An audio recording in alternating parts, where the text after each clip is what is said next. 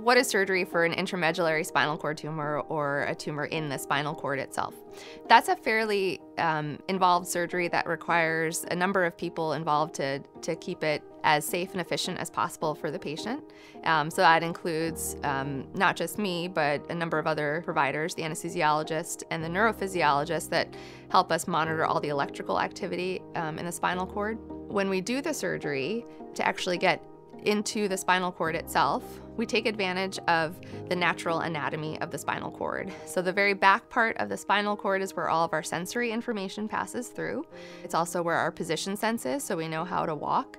That back part of the spinal cord, it's it's if you think about like two columns similar to my fingers, we map that and we're able to identify the natural separation between those two and we open it. Um, so we actually open the spinal cord, and that allows us to um, then remove what's um, behind those columns, if you will.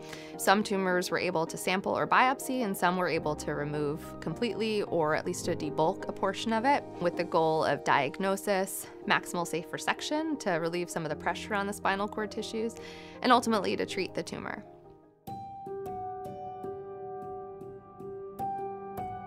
Aftercare for a child who has a posterior fossa brain tumor or the, the, actual name of the surgery that we do is called a suboccipital craniotomy. Typically, the hospital stay is going to be anywhere from three to five days.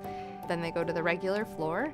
And then we have them work with a physical therapist, occupational therapist, and occasionally the speech therapist. We want to really make sure that kids who have tumors in this location don't have any impairment in their swallowing um, because our swallow centers are located in that area.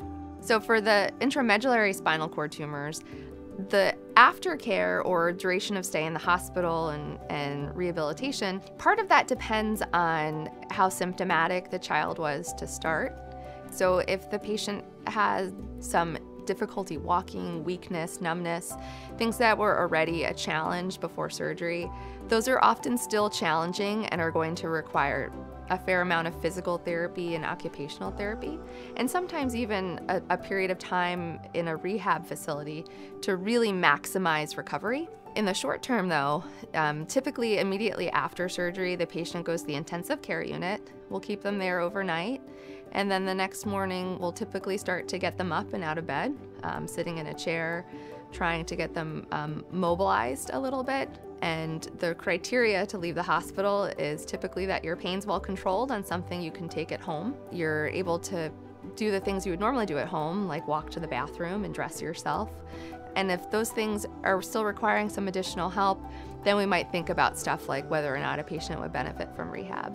Some patients may not have any symptoms, um, going into surgery, and they may have some subtle symptoms after surgery, and, and those patients may actually go home you know, within a few days. A lot of the recovery depends on how significant um, the neurologic deficits are going into surgery, and also how sensitive those spinal cord fibers are as a result of having that tumor and that um, manipulation. The spinal cord's very sensitive, it needs time to recover, and we do typically see patients continue to improve and recover weeks to months, even up to a year out after surgery.